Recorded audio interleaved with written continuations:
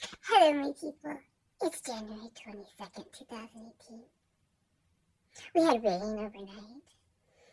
It still says we have a 90% chance, but it's moved out to the east, so I don't see how that's happening.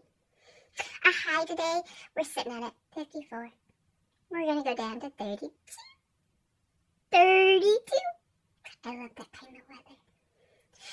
Hey, do you know why chickens can't have a football team?